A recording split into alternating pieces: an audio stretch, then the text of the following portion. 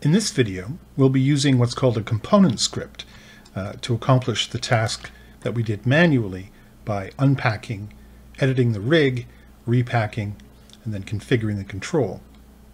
So we'll just take a copy of this guy. Here's our asset. And what we want to do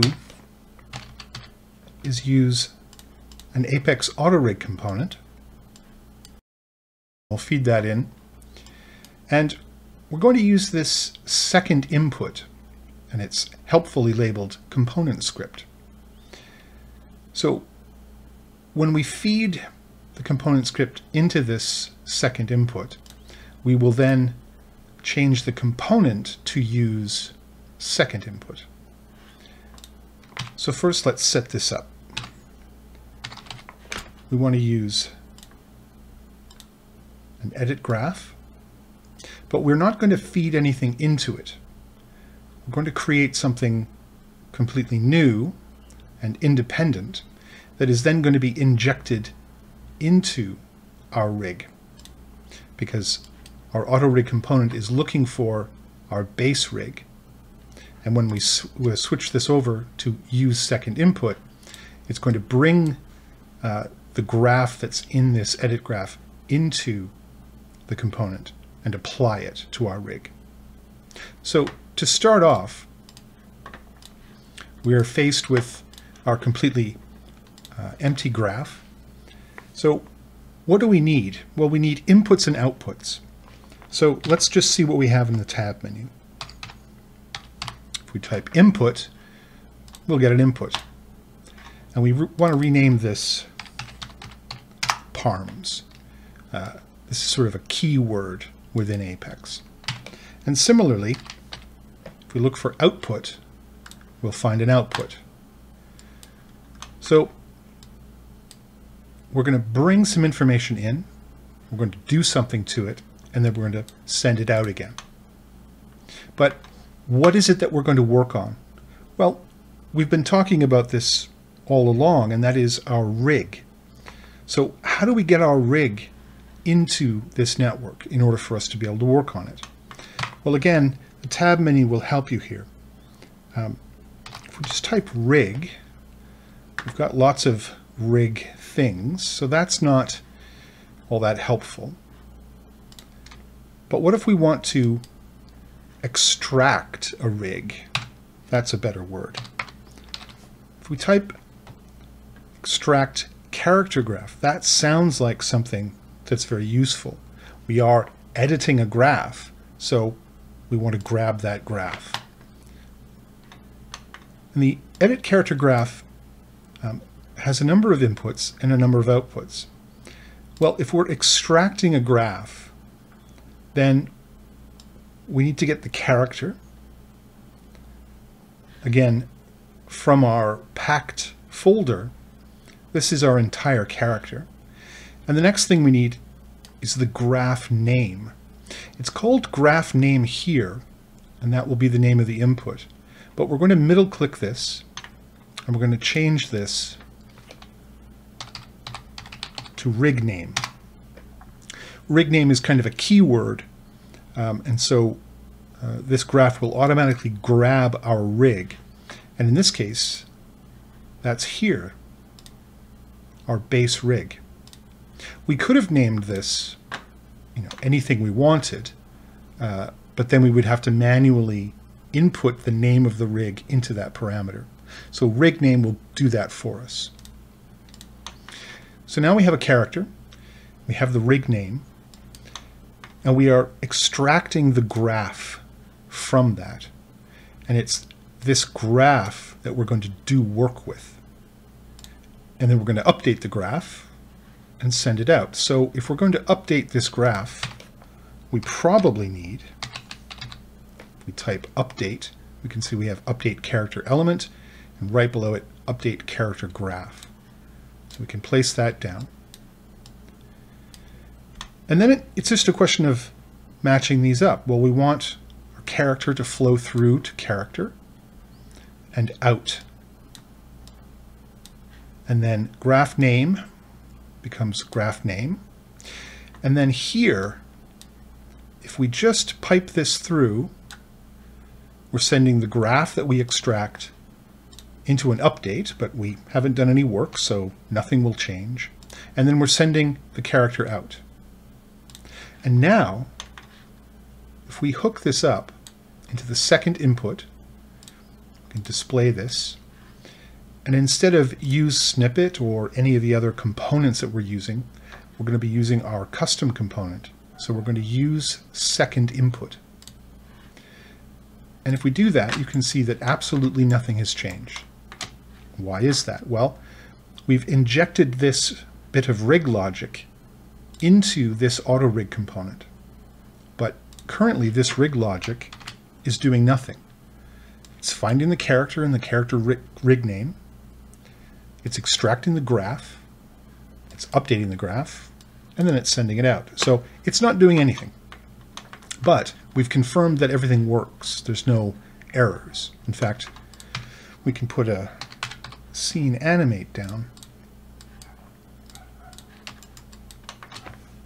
And we can confirm that everything is working as normal. So that's good. So what then do we want to do in this graph? Well, if you remember the previous video, all we did was we found that joint called uh, barrel root, and we promoted its scale parameter. Simple enough. So how do we do that in the graph? We saw how we were able to wire it up manually, but we don't want to do that uh, because this is a, just a very simple example of something that could be much more complex, uh, much more involved. So we want to be able to create that logic here in a very hands-off way and in a re reusable way.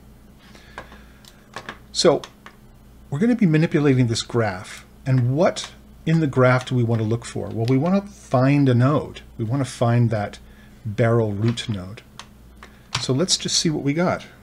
Find graph find node. We are working with the graph and we want to find a node. So graph find node is the one that we want. And we can see that this node is asking for a graph and a path, and it's going to output a node ID. So we'll see what we do with that later, but clearly we need to feed the graph into this so that the find node operator can look into this graph. But what about this path? If we mouse over it, we'll see that it's looking for a string. Well, that's clearly just the name of a node. So we can promote that. We can take this path, pop it into next, and it says path. And if we select our rig component, we can come way over to the right-hand side. We can see this refresh icon. And if we click that, It'll ask us if we want to update the current component parameters. Yes, we do. It spits out this, spits out this little console thing. I think that's just a, a beta thing. can clear that and close. But now on our auto rig component, we can see that we have this field called path. And we can put whatever we want in here. What we're going to put in there is the joint name that we want to look for. But path is a little ambiguous. So let's change that from path to joint name. Come back to our auto rig component, refresh the interface, and now we have joint name. Let's just fill that in right now. Barrel root. That's the joint that we want to find. And here in our rig, we know that that, I think, is right here. Yeah. So we're asking this bit of logic, once it's injected into here, to find this node. And then we're going to promote that scale parameter. So we go back to our component script. So if everything has gone right, and think that it has, we've provided a joint name, we've provided a graph, and we've put down a graph find node. So we can kind of assume that this has worked. Now that we've found the node, we need to find the port that we want to wire, in this case, the scale input. So let's see if we can find a port. So graph find port. Perfect. Graph find port is looking for a graph, and we know how to wire that in from here. And it's also looking for a node ID. Well, that's what we've just created using the find node. So we can wire that in. And then now it's looking for a port name.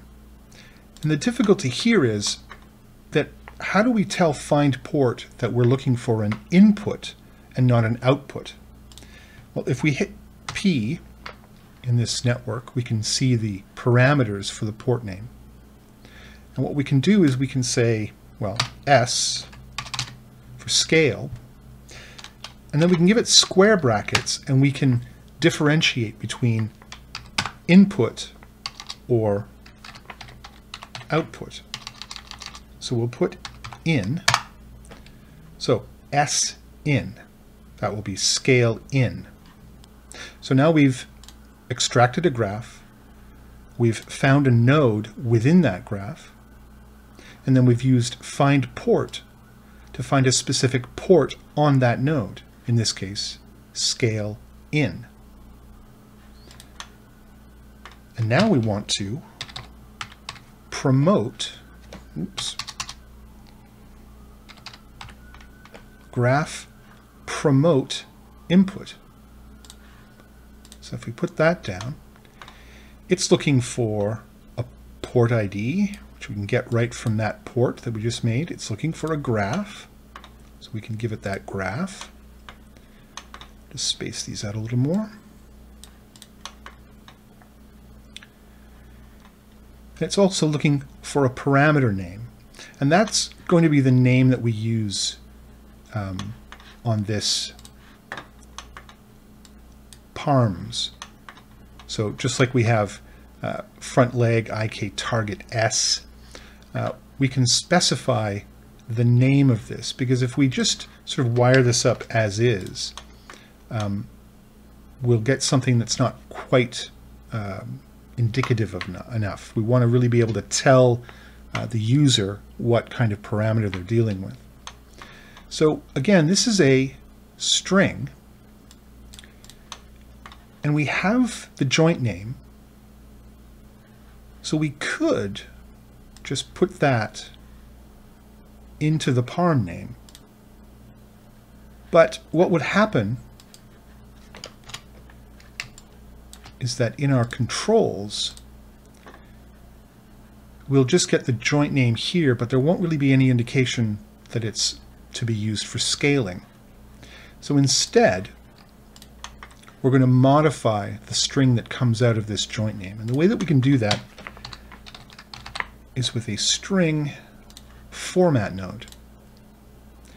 So we can take the string that we've put for joint name we can put that into the argument input.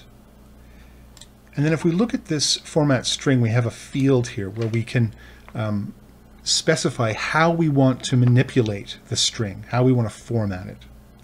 And this is uh, in the documentation, but if we put curly braces, uh, the curly braces will be whatever this string is.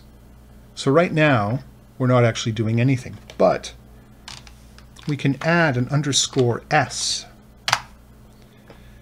And now, whatever string comes in for joint name will be reformatted and given an underscore s. And now this result we can feed into parm name. So now all we have to do is connect the graph that we've edited here and put that into the update character graph. Get rid of these parameters. So this then, these four nodes are the, uh, the things that we are doing to our graph. So we're extracting the graph, doing some stuff, and then updating the graph. And sending that character out. And if we select our AutoRig component, we go and try and find, here he is, barrel root, we can see right away that the scale parameter, the scale port, has been wired, and hopefully it's been wired to the right spot. Here on our parms barrel root underscore s. So that's exactly what we wanted. We've taken that joint name that we provided on the AutoRig component. We've appended that underscore s with the string format. So that's the name that it's been given. If we look now in our scene animate, we have to reset all.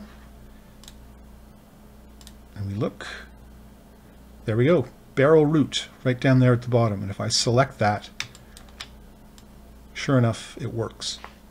But again, we don't have a, a visible control, so we can just steal this one that we made earlier, where we put a box wires that was red, and we can update that, and there we go. Now we have a control that we can select, and we can use to animate uh, that little shooting effect.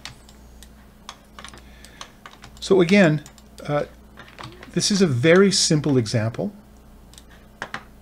And I think it's worth uh, seeing a very simple example because while it's simple, it does contain all of the elements uh, that you'll be doing no matter how complex the script is. Uh, because these four nodes uh, suit our purpose, but it could be something really very complex. We could be finding not just one node, but many nodes, uh, and we could be wiring nodes together in different ways depending on whatever rig logic we're trying to create. Uh, but whatever we're doing, uh, we have to do it very specifically. Uh, we're finding specific nodes, we need to find specific ports, uh, we need to promote those properly. Um, all of that is very, very explicit. And all of that is being done to the graph. And then once we're done, we need to update that graph and send it out. And so now this, uh, this node here, we could save this off uh, and reuse it uh, if this logic was applicable to other rigs. Uh, certainly if it was more complex, uh, you could use it for all kinds of things. And that kind of logic you know, this little four node network here is very much what all of these are. So when we saw the, um, the FK transform and the multi-IK, these are all exactly this. It's a little piece of logic that is then being injected using this AutoRig component node. So we're really just replicating um, what these do but with our own logic. So hopefully that gives you um, a, good taste of the kind of workflow that you'll have um, using the graph. In the next videos, we'll be looking at, again, how to do all of this, uh, but with Apex script.